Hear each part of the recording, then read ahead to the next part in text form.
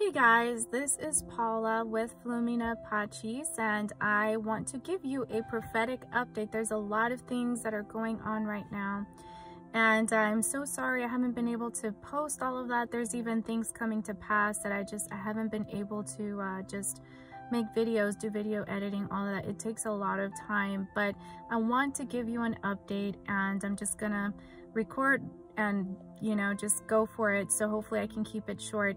Uh, I want to talk about that spy balloon. Um, the Lord is speaking to me about uh, February uh, being a month of uh, initiation of shakings that are coming, a sequence of events of, uh, yeah, a sequence of planned events coming uh, to America. the shaking begins. It's already beginning. we're seeing it, the economic shakedown. We haven't seen the public hasn't really seen um, our lives have not been affected, you know, and until uh, we start seeing some stuff in the headlines, it's going to be a little bit late. So that's why prophets come out here and warn you about what's about to what's about to go down. So, and what's going down is the market and all of that. So we're right on time. I released a wealth transfer um, message earlier, I believe in January, and I talked about like the first quarter being the the initiation. The angelic activity in the last few days, in the last week, has been crazy. And uh, this week, the Lord also spoke to me about America. Uh, sorry, I'm all over the place. I'm just trying to get everything out. So America, the Lord spoke to me about you a few weeks ago and during the fast and out of nowhere this is so this is how I know it's from God out of absolutely nowhere I'm in my car no music nothing and I just start singing the national anthem. And I start singing the part um, only the part where it says and the rocket's red glare the bombs bursting in air gave proof through the night that the flag was still there. And at first I w I didn't realize I was even singing. It just came upon me and it happened a few times. And the third time it happened, I was like, oh, what's going on? You know, why, why do all the songs stuck in my head? My goodness. And only that part of the anthem. So um, I sat on that. I prayed about it. I knew something was up. I knew it was prophetic. And then this the, the spy balloon begins to happen. And I've been speaking a lot about God's judgment. And this is, um, and then just this morning, just this morning, the Lord spoke to me again through Psalm 24. I have a word about Psalm 24. That's a word to declare over this year about the King of Glory. And, and the Lord is asking us to pray and decree that word uh, in our community, for our states, for our uh, circles, uh, to declare the King of Glory, to let the gates, let him enter the gates. But but this morning when God woke me up, he said Psalm 24, and then he said 10, the number 10, earths. And when the Lord speaks by word of knowledge, um, it just becomes a really uh, powerful, anointed word because not only do you uh, experience the the sight i have the gift of sight i'm a seer but you also hear. And so i you know it just becomes a really uh, a word of uh, that carries weight prophetic weight. Um you know so the number 10 represents rules order. You know you got the 10 commandments you've got the um the 10 commandments the law. There's a lot of tens in the bible that it and it all uh, represents perfect order. Uh, if you want to find a resource for prophetic numbers and understanding them from a biblical perspective, you need to check out Troy Brewer. I'll link him down in the video. He is a wealth of wisdom when it comes to understanding biblical numbers. And, you know, some people get a little uh, spooked by that because they're like, well, isn't that just numerology? Well, you know, um, numbers give glory to God. And God does things like that because he wants to show off because he's God and he like it's it's a it's a it's wonder. You know, it's when it's like wow, you know, you never never notice these like trends in the Bible And um, and so no, it's not numerology. What happens is that the enemy takes truth and he perverts it. And so then you've got like numerology, you know, type websites and stuff like that. So everything I look for is biblical. It's in the Bible. I just want to, you know, share that. And then the word earths. If you look at that Bible verse, I'll post it here.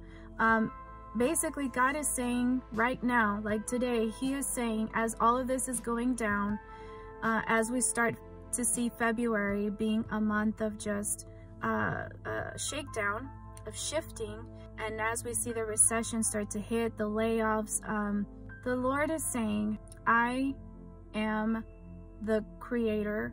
And He's saying that the earth belongs to God. And a lot of people don't understand the difference be between earth and the world. And in that Bible verse, he's saying that he is the land owner. He is the owner of the earth. If you can think of it like a house, you know, you you buy a house, you you have the landowner, and then maybe you want to rent the house, and you've got the people who live inside the house, but it but the ownership belongs to the landowner, right? Um, the people are the tenants inside of it. And so the world, the difference between the earth and the world is huge. The earth belongs to God, period. The world is a part of the earth, if that makes sense. And who's in the world, you know? The world is dominated by man, you know, you've got the enemy in the world. Um, and the Lord is saying that don't forget, don't forget that I am about to shift everything, that I am about to, to bring out my order, my order, says the Lord. And God has his own economy. God has his own way of doing things. And it all ultimately belongs to him. And he gets to evict whoever he wants because it's God's. And we forget about that because we get accustomed and complacent to the tenants, you know, to the way things are in the world. And we need to remember this, you know, we we um we know God can do anything, but really this year God can do anything. That's what God is saying. And he wants us to focus on that biblical verse right there and decree that. Decree that so that the King of glory can enter in. And then it says, you know, today we in the gospel reading we celebrate we we we hear the the we hear the message that says you are the light of the world, the city on a hill that cannot be hidden. Um, so it's time to shine your light. It's time to shine your light and be a partner, be in partnership with God, be in partnership with God to bring about the revival and the glory that he wants to bring. So basically the way things go down this year is we see calamity, we see crisis after crisis. We think we just got done and and then you get the revival because people are like, you know, walking in darkness and uh and so that's when revival and the glory come. And even though you know this is where this is where god's kingdom people shine. Um, god's kingdom people start building up the kingdom. They bring down the glory. They bring down the signs the wonders. They invite people who are open because unfortunately you know until you realize that you're just a tenant in this world um, and when you start losing your job, you know, God's really actually your employer. And when you start, you know, being evicted and, and you get laid off, whatever, you know, the things that are about to go down, people become a little bit more humble. You know, they realize that they are not God and they've been sitting on God's throne and instead of allowing him to do his thing. And so it's in the position, again, I release the word humility that if you do not humble yourself, God will humble you. You know, life will humble you. Often it comes through humiliations, whatever it may be in your life. But God, God, God is sovereign. God is good. And for God's people, this is all good news because um, we get to get we get to be useful, you know, and being useful in the kingdom for kingdom work yeah, man, that's a privilege. That's a privilege to be able to bring someone to Christ. It's a privilege to disciple somebody. It's a privilege to sponsor somebody. And we feel uh, useful even though our life has been trash. You know, we all we have, we don't have very much to give God. And yet he uses our trash to bring people back to him, you know. So, you know, this is a time to be a light. It's a time to be a light and to, um, and to to just um, partner with God. Just partner with God and, you know, hang tight. Um, one more thing, I saw there's something going on with the airline industry. I, I don't have a full picture yet, but but I will say that I see a missile. I see threat, I, yeah, like threats. I see threats going on. Um, I see threats by other nations threatening um, the United States, the airlines, the, the industry um, with bombs. I don't know. I don't know. That's what I'm seeing. I'm seeing uh, threatening. I'm seeing a high level of threatening and people being scared. So that's, um, I don't know exactly what that is all about, but I, but I know it's more, there's more coming.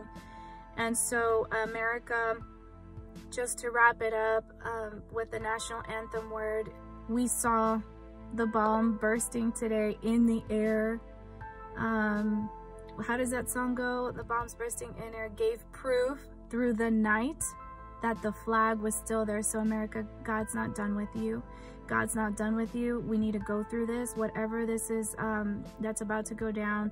We need to go through it because God wants to do something with you and he is not done with you.